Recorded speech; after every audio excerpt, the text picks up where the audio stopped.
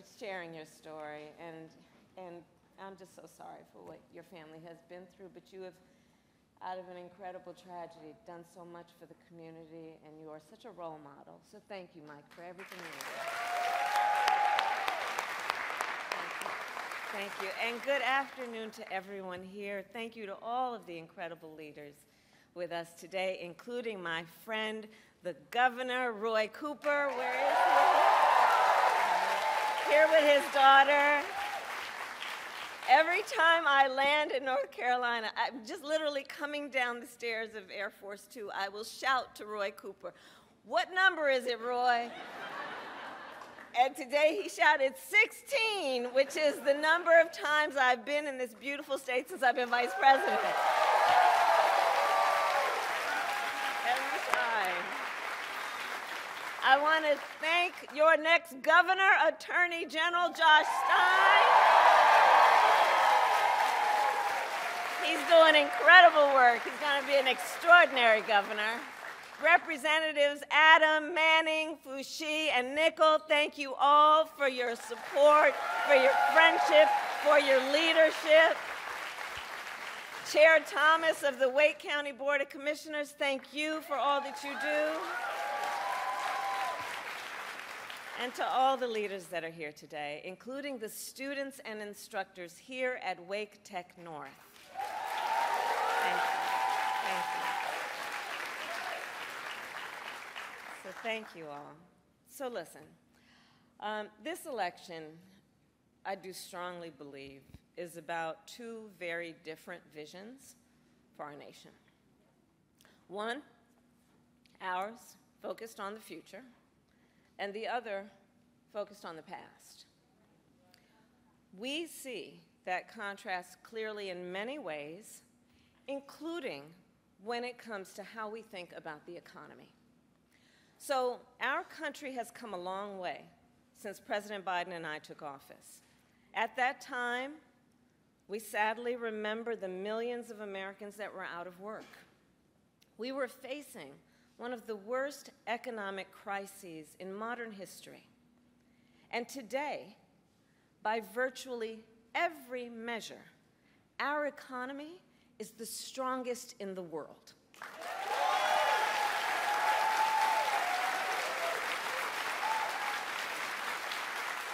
We have created 16 million new jobs. We've made historic investments in infrastructure, in chips manufacturing, in clean energy. And new numbers this week alone show that inflation is down under 3%.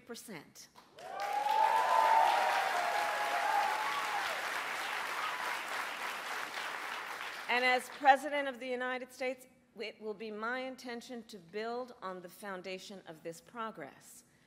Still, we know that many Americans don't yet feel that progress in their daily lives.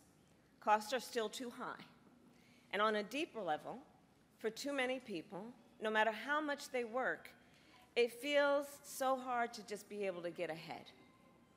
As president, I will be laser focused on creating opportunities for the middle class that advance their economic security stability, and dignity. Together, we will build what I call an opportunity economy. An opportunity economy. An economy where everyone can compete and have a real chance to succeed.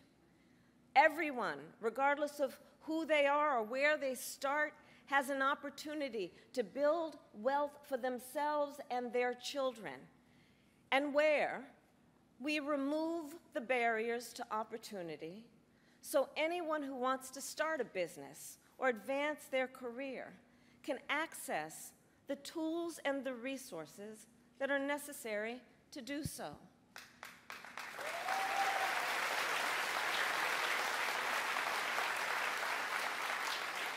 I will focus on cutting needless bureaucracy and unnecessary regulatory red tape and encouraging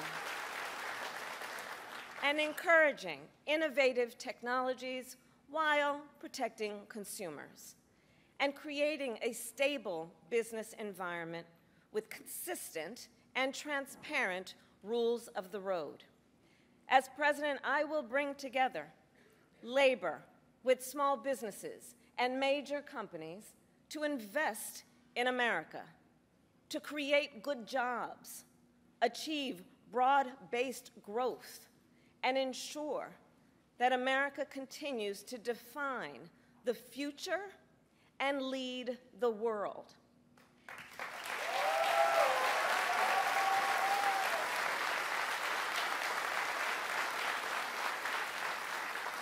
And key, key to creating this opportunity economy is building up our middle class. It is essential. The middle class is one of America's greatest strengths. And to protect it, then, we must defend basic principles, such as your salary should be enough to provide you and your family with a good quality of life.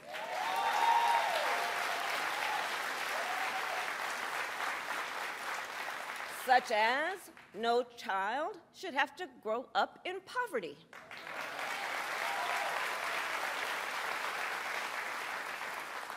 Such as after years of hard work, you should be able to retire with dignity. And you should be able to join a union if you choose. Building up the middle class will be a defining goal of my presidency because I strongly believe when the middle class is strong, America is strong.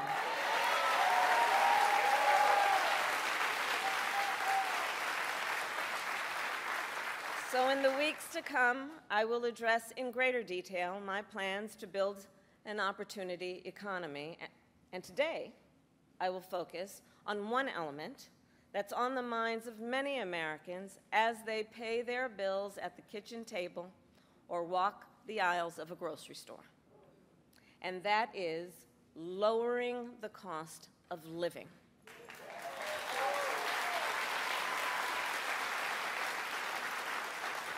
So every day across our nation, families talk about their plans for the future, their ambitions, their aspirations for themselves, for their children. And they talk about how they're going to be able to actually achieve them financially. Because look, the bills add up. Food, rent, gas, back to school clothes, prescription medication. After all that, for many families, there's not much left at the end of the month. I grew up in a middle class household. For most of my childhood, we were renters. My mother saved for well over a decade to buy a home. I was a teenager when that day finally came, and I can remember so well how excited she was. I kind of understood what it meant but we called her Mommy. Mommy was so excited, it just made us excited that she was so excited. Later in college, I worked at McDonald's to earn spending money. Well, some of the people I worked with were raising families on that paycheck. They worked second or even third jobs to pay rent and buy food. That only gets harder when the cost of living goes up. When I am elected president, I will make it a top priority to bring down costs and increase economic security for all Americans. As president, I will take on the high costs that matter most to most Americans, like the cost of food. We all know that prices went up during the pandemic when the supply chains shut down and failed. But our supply chains have now improved, and prices are still too high. A, lo a loaf of bread costs 50% more today than it did before the pandemic. Ground beef is up almost 50%. Many of the big food companies are seeing their highest profits in two decades. And while many grocery chains pass along these savings, others still aren't. Look, I know most businesses are creating jobs, contributing to our economy, and playing by the rules. But some are not. And that's just not right. And we need to take action when that is the case. At,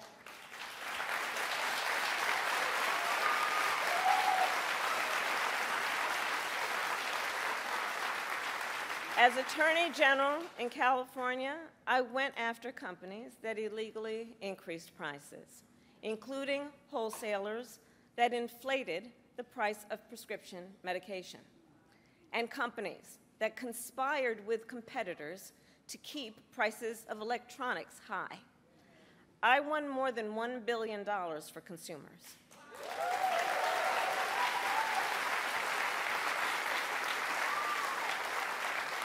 So believe me, as president, I will go after the bad actors.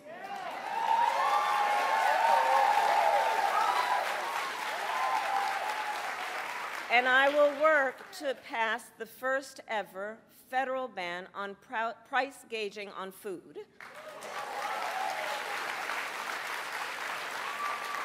My plan will include new penalties for opportunistic companies that exploit crises and break the rules, and we will support smaller food businesses that are trying to play by the rules and get ahead.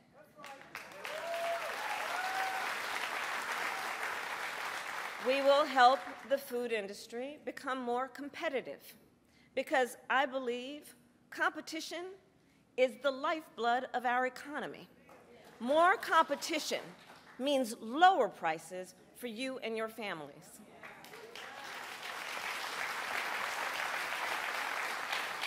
Now compare what Donald Trump plans to do. He wants to impose what is, in effect, a national sales tax on everyday products and basic necessities that we import from other countries. That will devastate Americans. It will mean higher prices on just about every one of your daily needs. A Trump tax on gas, a Trump tax on food, a Trump tax on clothing, a Trump tax on over the counter medication. And you know, economists have done the math. Donald Trump's plan would cost a typical family $3,900 a year. At this moment, when everyday prices are too high, he will make them even higher. As president, I'll attack and take on the issue of the cost of health care. As Attorney General, I took on insurance companies and Big Pharma and got them to lower their prices. And together with President Biden, we've gone even further. We capped the price of insulin at $35 a month, and the total cost and the cost of prescription drugs at $2,000 a year for seniors. We let Medicare negotiate lower drug prices for seniors. And just yesterday, and just yesterday, we announced that we are lowering the price by up to 80% for 10 more life-saving drugs.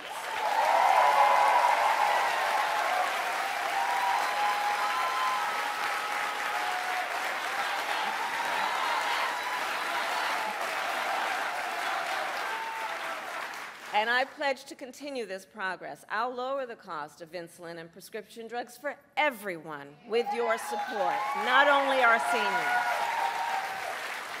And demand transparency from the middlemen who operate between Big Pharma and the insurance companies who use opaque practices to raise your drug prices and profit off your need for medicine. Two months ago, I announced that medical debt will no longer be used against your credit score.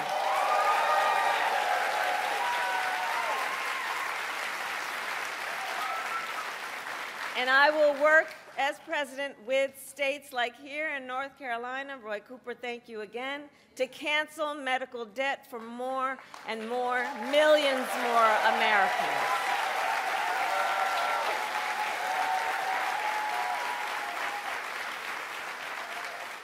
As for Donald Trump, well, he wants to repeal the Affordable Care Act,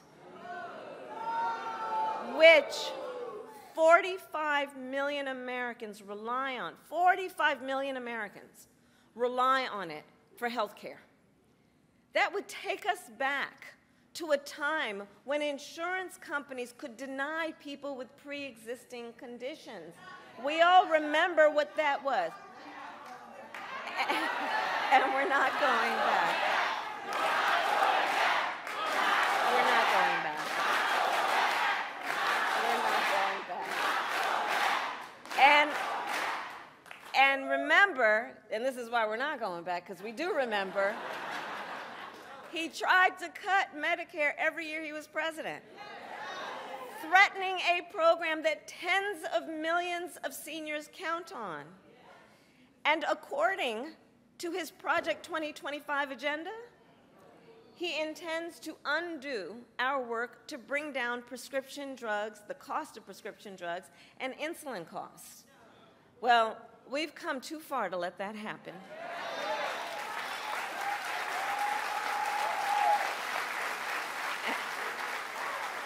So we're not going back on that, and let's talk about the cost of housing. So now, the housing market can be complicated, but look, I'm not new to this issue.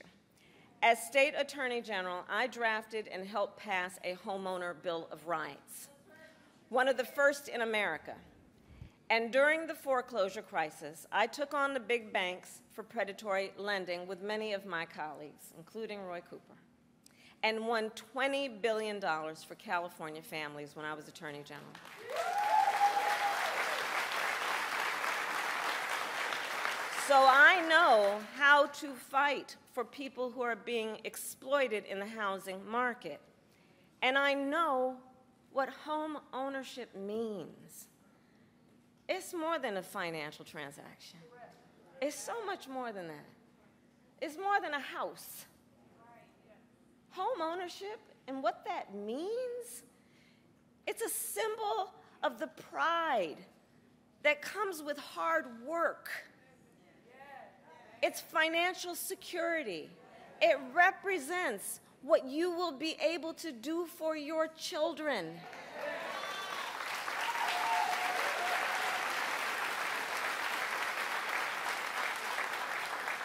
And sadly, right now, it is out of reach for far too many American families. There's a serious housing shortage. In many places, it's too difficult to build, and it's driving prices up. As president, I will work in partnership with industry to build the housing we need both to rent and to buy. We will take down barriers and cut red tape, including at the state and local levels.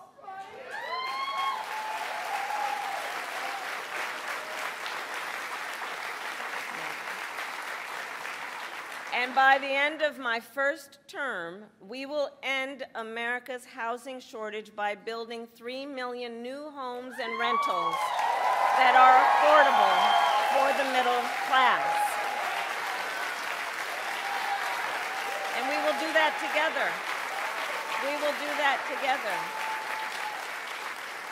And and we will make sure those homes actually go to working and middle class Americans, not just investors. Because you know, some corporate landlords, some of them, buy dozens, if not hundreds, of houses and apartments. Then they turn them around and rent them out at extremely high prices. And it can make it impossible then for regular people to be able to buy or even rent a home.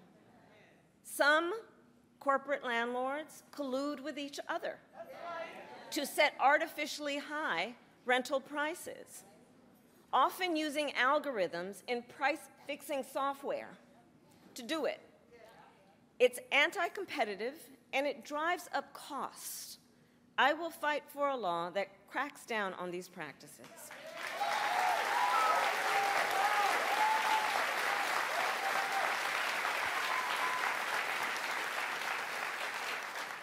We also know that as the price of housing has gone up, the size of down payments have gone up as well. Even if aspiring homeowners save for years, it often still is not enough. So, in addition, while we work on the housing shortage, my administration will provide first time home buyers with $25,000 to help with the down payment on a new home.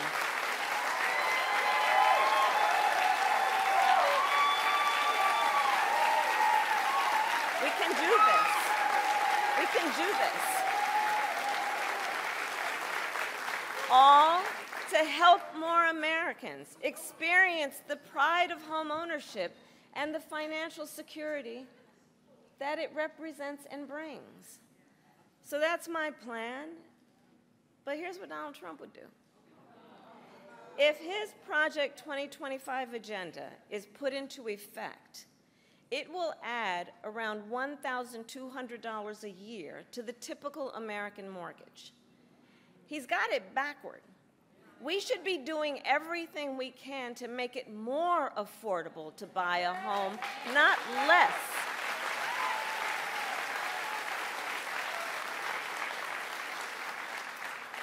Finally, there's one more way I will help families deal with rising costs, and that's by letting you keep more of your hard earned money.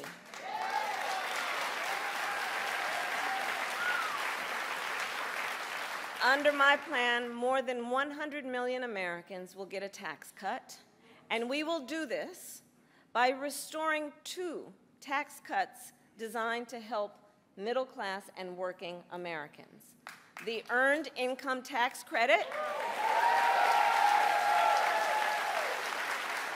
and the Child Tax Credit.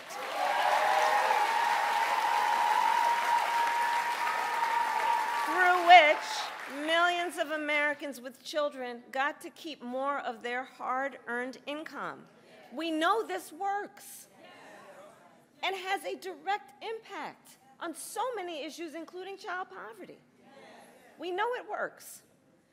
So, as president, I'll not only restore that tax cut, but expand it. We will provide $6,000 in tax relief to families during the first year of a child's life. Now, think what that means. Think what that means. That is a vital, vital year of critical development of a child. And the cost can really add up especially for young parents who need to buy diapers and clothes and a car seat and so much else. And we will do this while reducing the deficit. Compare my plan with what Donald Trump intends to do. He plans to give billionaires massive tax cuts year after year. And he plans to cut corporate taxes by over a trillion dollars, even as they pull in record profits. And that's on top of the $2 trillion tax cut he already signed into law when he was president, which, by the way, overwhelmingly, overwhelmingly went to the wealthiest Americans and corporations and exploded the national deficit. You know, I think that if you want to know who someone cares about, look who they fight for. Look who they fight for.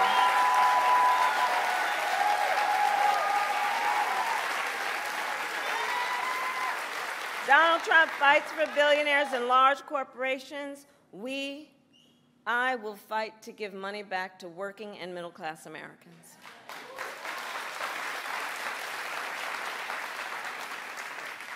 So I'll end with this. Two days ago, Donald Trump was here in North Carolina. He said he was going to talk about the economy. I think you all watched. You know what I'm about to say. But he offered no serious plans to reduce costs for middle class families, no plan to expand access to housing or health care. And that actually, I think for most of us, was not surprising. Because we already know his plans. We know the Project 2025 agenda.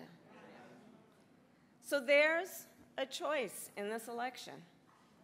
Donald Trump's plans to devastate the middle class, punish working people, and make the cost of living go up for millions of Americans. And on the other hand, when I'm elected president, what we'll do,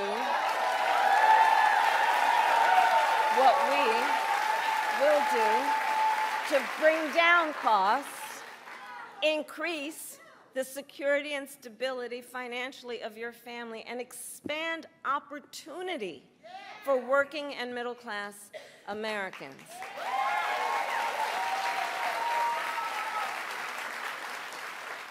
So now, now, now is the time to chart a new way forward. Now is the time to chart a new way forward, to build.